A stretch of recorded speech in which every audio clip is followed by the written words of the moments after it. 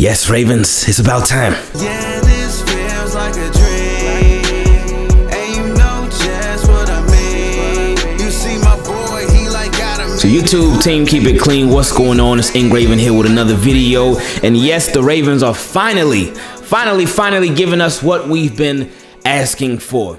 Now, we talked about a couple of weeks ago how the Ravens, they had just been so hush hush about everything. We hadn't heard a peep out of them. They did make some future roster moves and whatnot, but other than that, we hadn't heard a sound.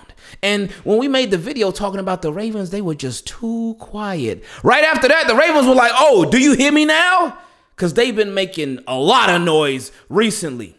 And now, uh, to actually get some official noise directly from the Ravens, because we've seen them make some moves, obviously, but they, those moves that they made came with statements. But now, now we get to actually hear directly from a John Harbaugh, directly from an Eric DeCosta, directly from even the new defensive coordinator Mike Macdonald. Now I know because I, I, was one of them too. I was wondering, whoa, why, why doesn't G-Ro have a presser?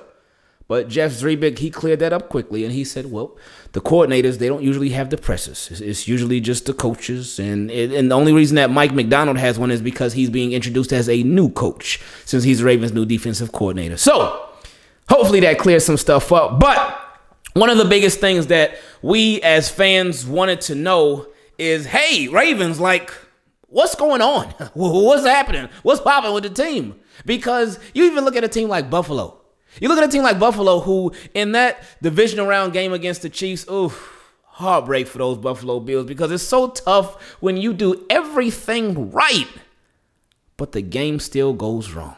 Oh, that hurt for them. But my point in bringing up that game is that shortly, a couple days after that game, they had a season ending press conference. They even announced that they were going to be picking up uh, Ed Oliver's fifth year option. So they they did that within a span of a couple of days after after their playoff game. But the Ravens, who hadn't even been in the playoffs, we hadn't heard nothing out of them. And I was just put on a couple days ago that that is actually the rule that I believe within seven days after your season ends, you have to do a presser. It's one of those NFL media rules that you have to do a presser, and the the coach or the CEO or whatever they have to speak to they had to speak to the media, and, and that's mainly to cater to fans. And it's been Ravens season ended a little while ago, but now we finally are getting a presser. And just to give you a quick update, the, there's going to be a couple of pressers this upcoming week. The first one uh, is going to be John Harbaugh. He is going to speak to the media on Monday at 1 p.m. So set your alarms, even though you know Ravens, they, they be running late for a lot of these presses. But it's okay. I don't mind. I run late for my live streams too. So we on the same page. On Wednesday, Mike Macdonald, he's going to be talking to the media. Um, and that's going to be at 1 p.m. And then on Friday at 10 a.m., so bright and early. I know a lot of people, they're going to be at work. They're going to tell their managers, like, ah, I need a little break. I need I need some personal time. Give me a quick little, give me an hour PTO. Because this is important. Because at 10 a.m. on Friday, Eric DeCosta's gonna speak. Now, um, they they got a lot to address because and and this is where we've been talking about all off season how we want coaches to be held accountable and how players need to be held accountable too. But now media. This is where us as fans are challenging you guys to ask the great que- ask the good questions. Cause we don't want Harbaugh walking off like he walked off at that last presser that he had, if, if you remember. Cause Harbaugh wasn't so team keep it clean with how he felt about some of the questions. I just leave it at that. Um, but this is where the, the, the media people, this is a big opportunity. I mean, they have plenty of opportunities, obviously, because they're the ones that are asking the questions. But this is big because if you ask the right questions, you could possibly, it's not a guarantee, but you could possibly get the right answers. Now, I know one of the questions that so many Ravens fans have on their mind, and, and this is no matter what side of the fence you're on, but what is up with Greg Roman? Is he staying? Is he going? Again, every all signs point to him staying. All signs point to the Ravens retaining Greg Roman, but we just want it to be cleared up. So we can know what to hope for moving forward. But I would expect Greg Roman to stay, but it would be nice if we could get that all cleared up. Another question.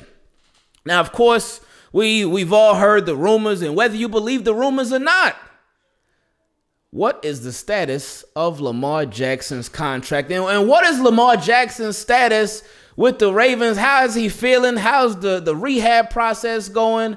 But really, more so, the contract. And are you guys in contract talks? Have you guys resumed contract talks? Have you guys progressed when it comes to Lamar Jackson's deal?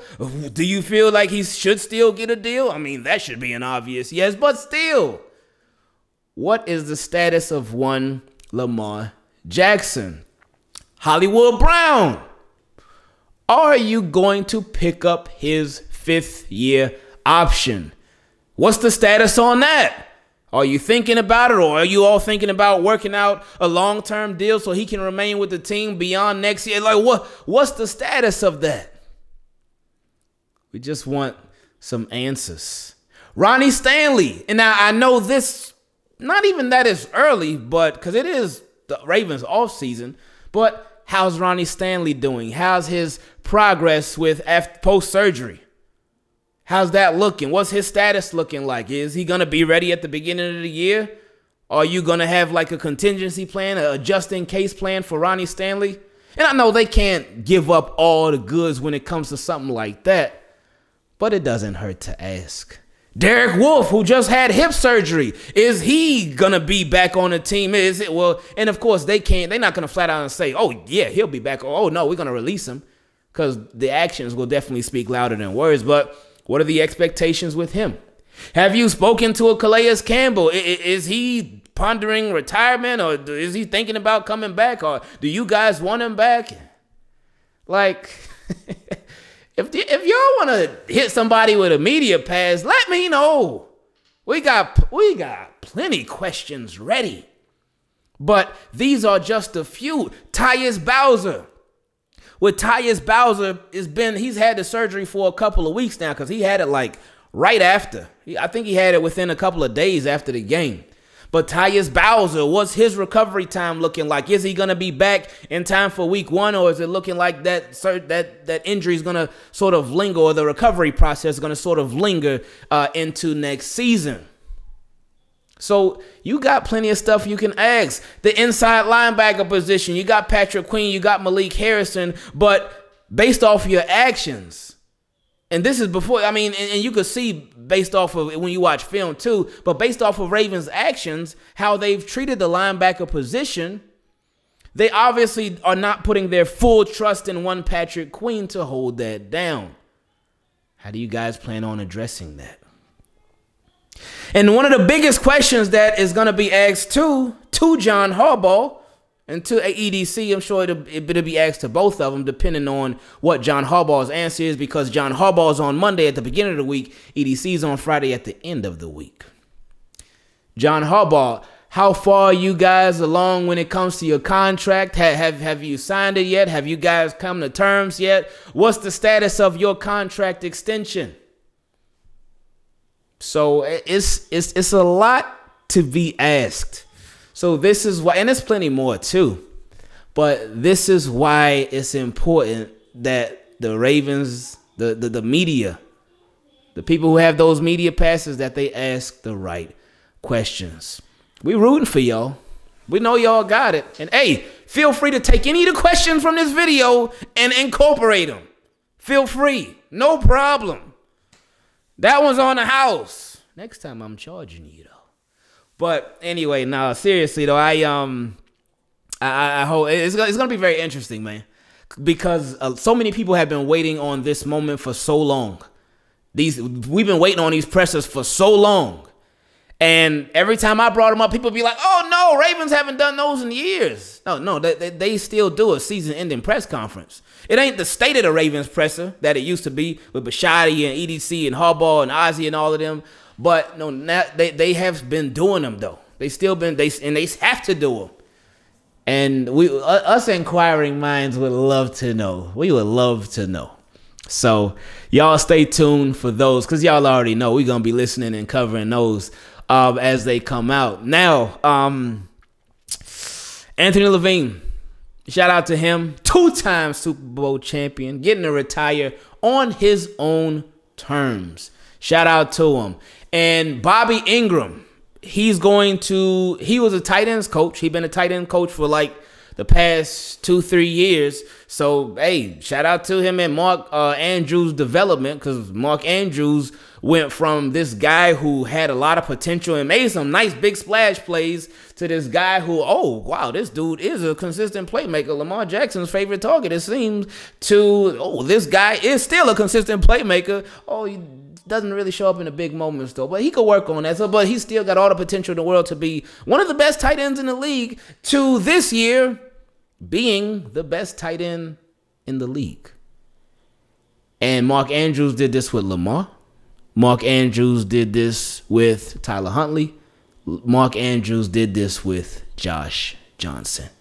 So Mark Andrews does this. He does this. Does he still have some stuff he got to work on? Oh, yeah. But that's the beauty of it. That's the beauty of it. The fact that he still has some stuff that he can improve on and he was the best tight end in the league this year, that says a lot. But kudos to uh, Bobby Engram.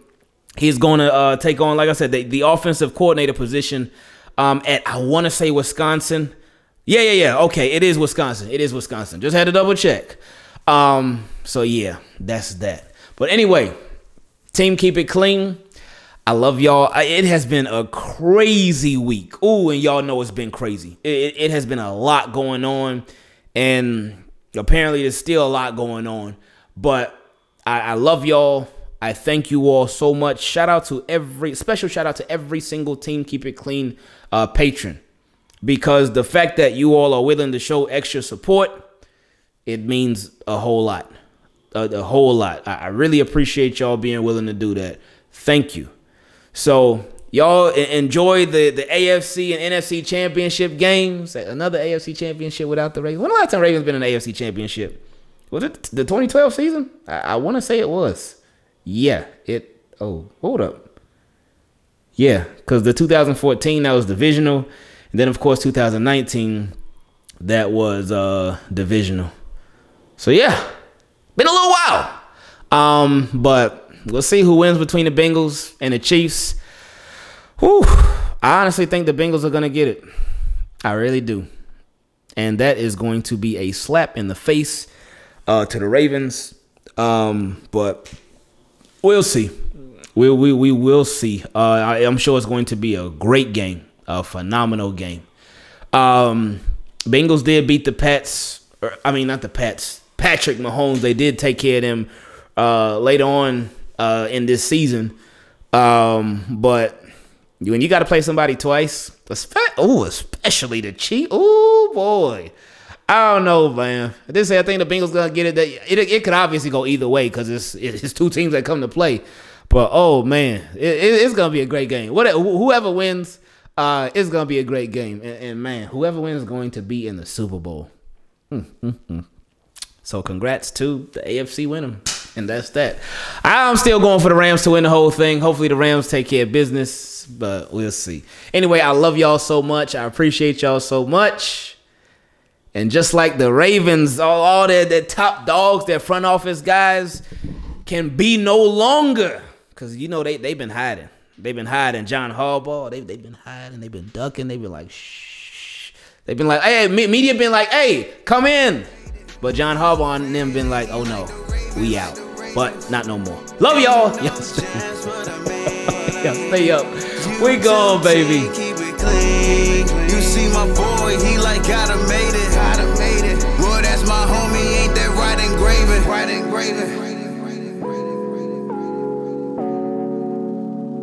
Shout out to Ingraven.